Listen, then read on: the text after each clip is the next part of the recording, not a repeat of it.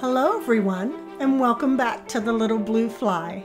If this is your first time visiting, welcome, and I invite you to subscribe to my channel.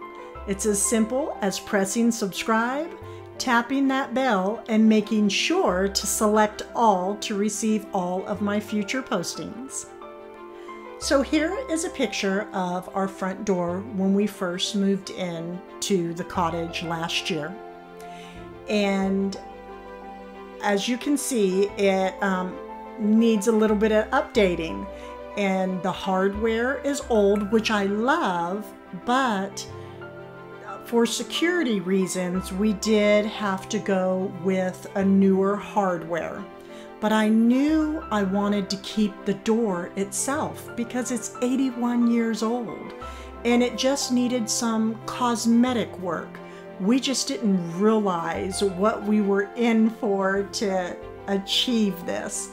And as you can see the doorbell off to the side, we wanted to change that as well. I wanted to go with my signature color black on the front door. And I'm very excited to share the transformation with you all on the front porch. That being said, let's begin, shall we? So anyways, we started by putting some Citristrip on the door and wrapped it. And then the next day, you take the wrap off and it makes it easier to remove all the many different layers of paint. As you can see, it just comes right off. There's so many different layers of paint on this door. I mean, you have to you think this is an 81 year old door and it's been painted several times throughout the years.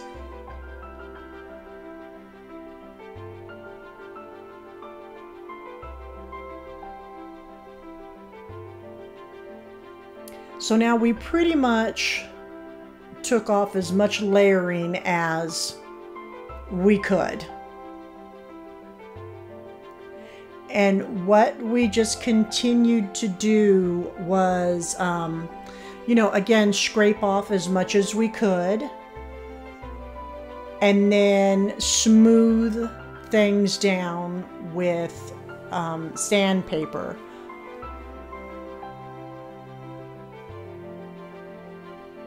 And then we used this uh, Dremel uh, tool to get closer into the glass pane area. And we really secured the glass so that it wouldn't shatter because that would just, that would have been a nightmare having to replace the glass. So we used this um, reinforcement strip here over um, the open areas. And some are going to stay open because of the new hardware. So it's again, it's a reinforcement patch.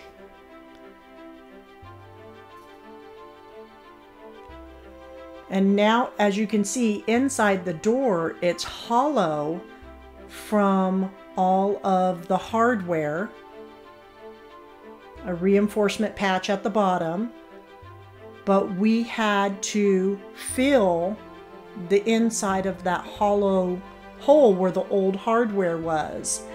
And we are going to be using some spackling. Not so much to fill the hole, but you'll see in a moment what we use the spackling for.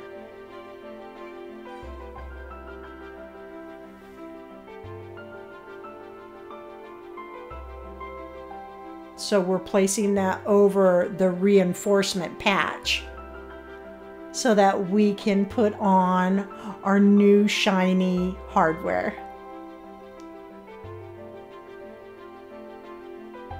It's by Kwikset, and this was actually purchased from Lowe's.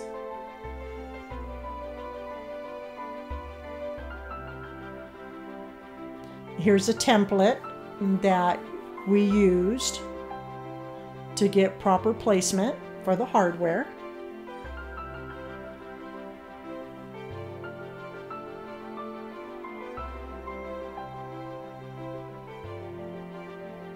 Thank goodness for templates. They do make the work so much easier.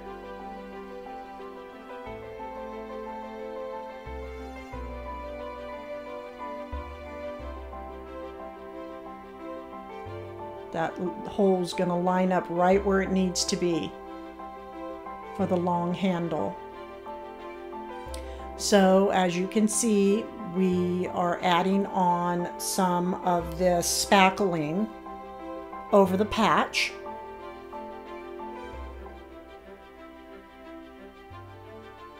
There was just so many different steps in the process for this door. We didn't realize it was going to be so much. I mean, it's it's easy to just say, "Oh, you know, forget it. You know, we'll just go buy a new door," but no, Bev wanted to keep the original 81 year old door, so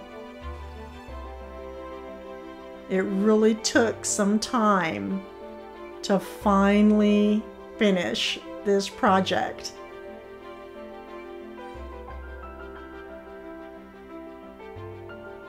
But when you have those open holes, whether it's in doors or, or ceilings or walls, the reinforcement patches are amazing to work with.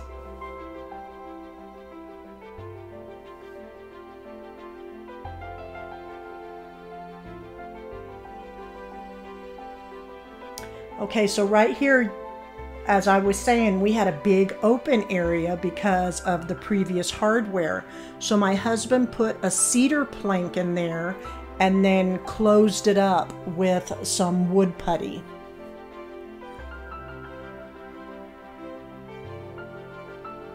We had to make sure that it was nice and solid in the door for the new hardware. Otherwise, it just it, it would not have been able to be placed onto the door.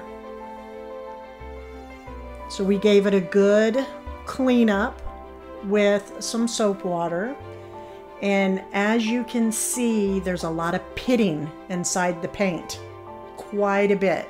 And I didn't want that. And again, that was from all the years of painting. So we just filled it with some spackling paste. And then sanded it down to make it smooth.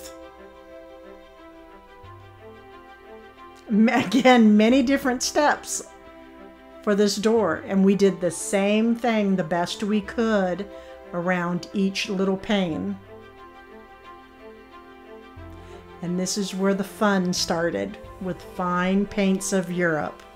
There, there, uh, there is no other paint that can even match up to this gorgeous, gorgeous paint.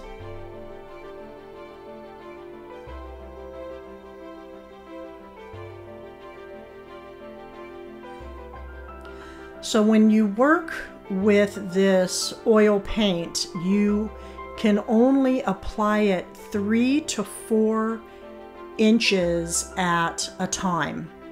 Otherwise, it can drip and it just it won't set. So this is a this is it's a self-healing paint is what it is.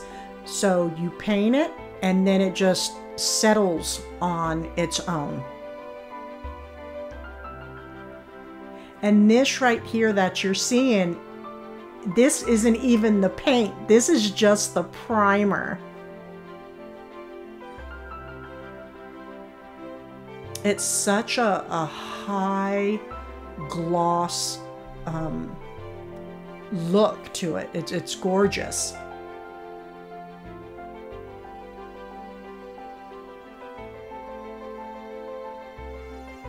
You cannot notice where you have started painting and where you have stopped because it is, again, a self healing paint. It just settles on its own. And again, this is just the primer. We'll be going over it with the paint. Although we didn't we don't have the video on that part. And the reflection off of the paint is just beautiful.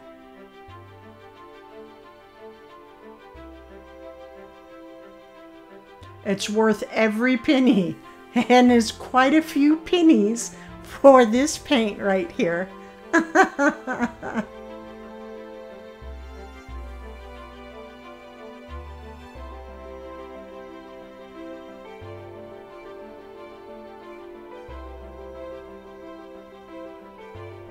Now we're moving on to our security storm door. This came with the home.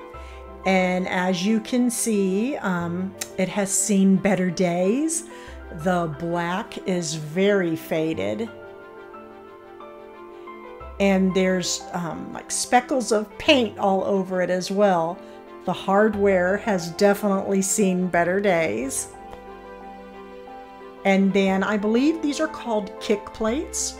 We are going to keep this. We're just going to clean it up a bit. And see all those little paint specks. It was from, um, you know, previous paint jobs on the home and it was just um, never cleaned up. So we're going to take care of that. And again, the door is just, the paint is just very faded from the sun beating down on it for so long. But the door, the structure itself, is very solid, very intact. So we just decided, you know, let's just go ahead and just fix her up a little bit. We don't need to buy a new um, security door.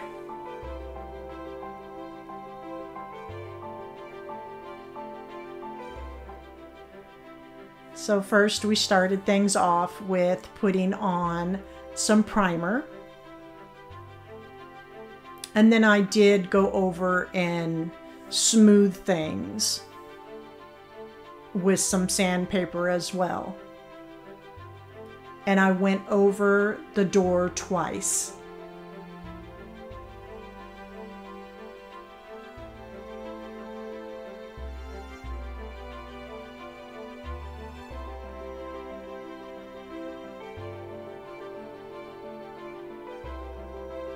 Now this is where all the pretty color comes in.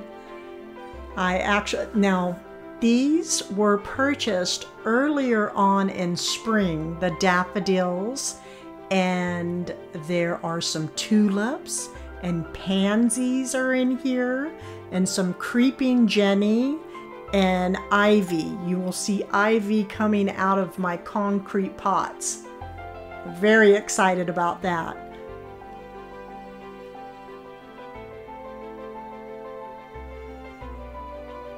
And I'm going to be working with these two concrete planters that were purchased from Lowe's.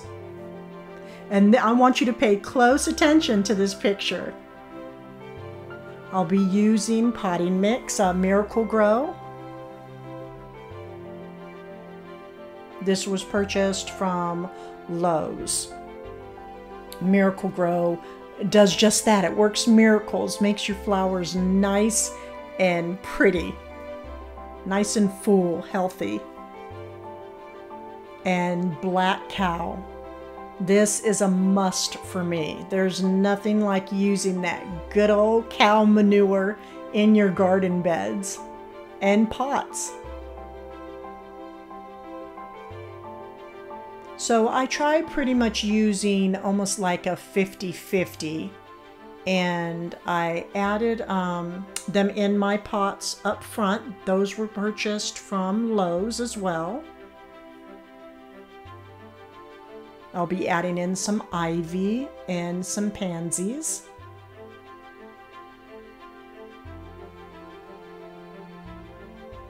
everything right now is pretty trial and error for me. So you can see here, and it's later on, I was not able to get the spring when they were in full bloom. So the tulips are gone, but the daffodils, the stems are still there. It's as simple as just plucking them out.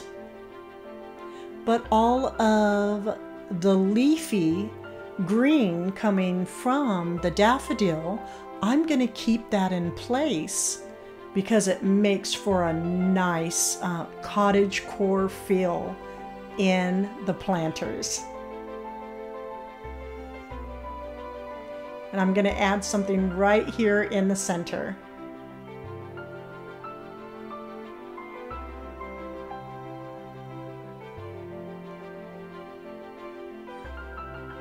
So I pretty much have them cleaned up and when the pansies, when they die off, it's just as simple as going in and deadheading them, you know, taking the stems off. The creeping Jenny is growing nicely. I like to make sure I pull it out over the pot. I keep some growing within, but I want that pretty cascading going down.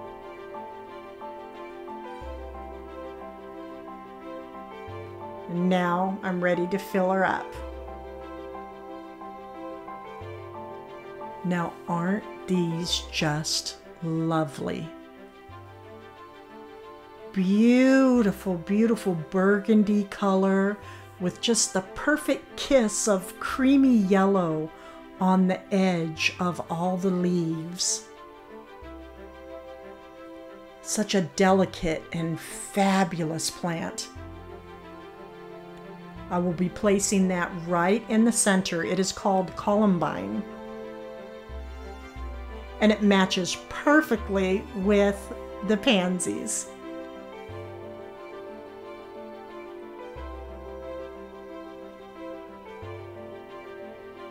Again, pay special attention to the patio.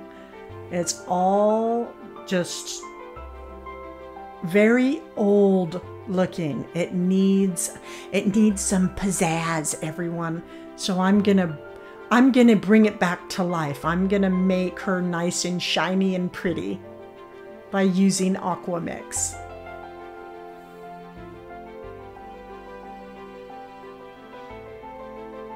Now this is, for those of you that have not seen um, the makeover of my fireplace, I use the same exact product.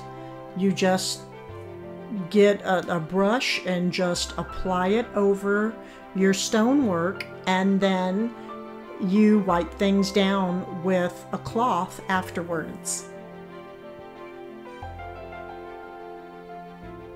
And as you can see what it what it does here, it gives your stone a nice, warm, and rich color to it. Not so washed out.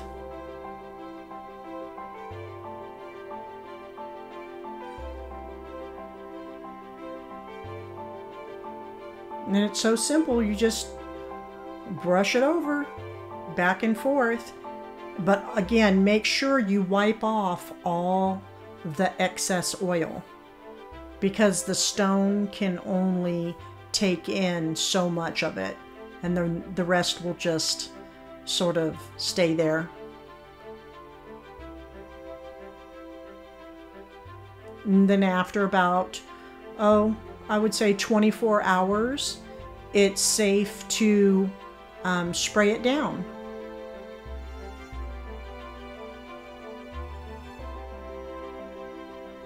Just get all that excess oil off. And then I decided, well, since since I'm putting it on the patio, I might as well look at that. Nature always finds a way. That little ivy growing out through the stone. But anyways, the planter pots, I thought, well, let's get to conditioning them as well give them that nice, wonderful, warm feel. And look at the difference. It will stay looking just like that. And you have to, well, depending on how much sun it gets, um, I might have to go back over it in a year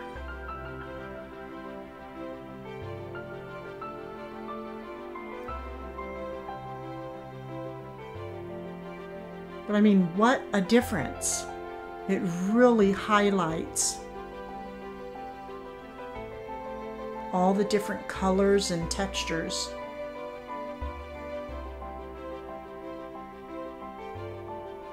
And you do the same thing, you just wipe it off with a cloth when you're done.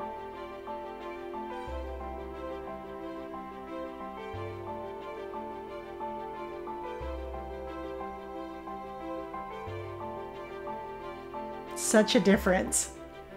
And then having the warm color on this pot when the creeping Jenny comes down, having the light green yellow color on the warm rich color on this stone on the concrete it's just beautiful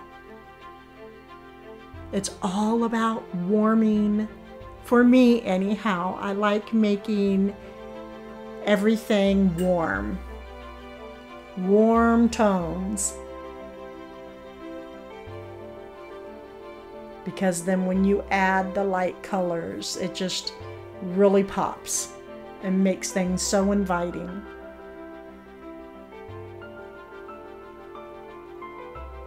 And here is the door up.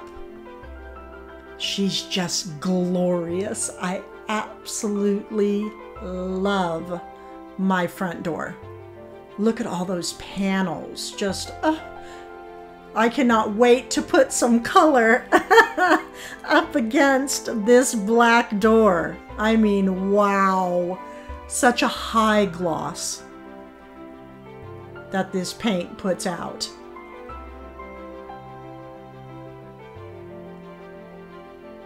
The hardware, perfect.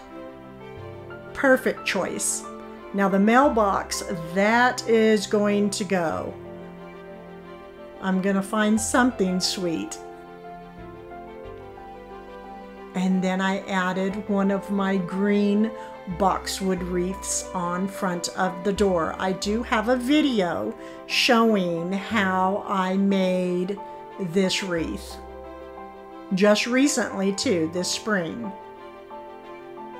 And that green on the black is just beautiful.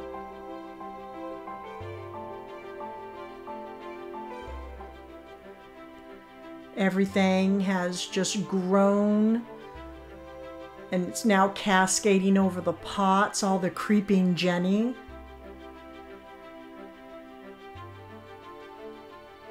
Such a beautiful color. And the pansies. And you see the daffodils, you see some of the green from the daffodils still in there. And then the columbine.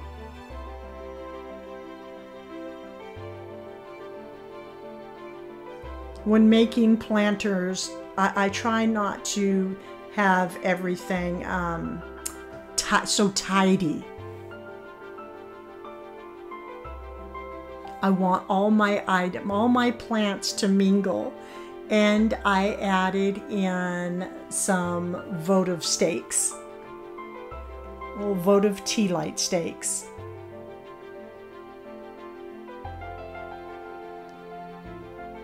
during the evening, it's always nice lighting a couple of tea lights out on the front porch. This side is really grown up because it receives more sun.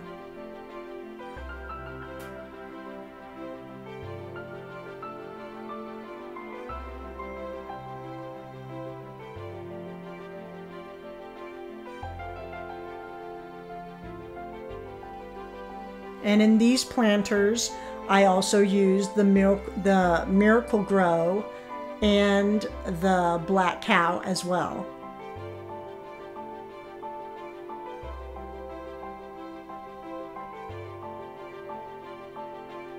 And now we have the, the security screen up. And now it's all shiny, new, and beautiful. We changed the doorbell to the ring system which we absolutely love. Again, the mailbox will be changing without a doubt. And now to add in some special whimsy feels MacKenzie-Childs. I love the Frog Prince mat. It is my most favorite out of all of her mats. Now, sometimes during her barn sale, you can find this mat at 50% off, and I heard she is having one this year, a barn sale. So keep a lookout for it.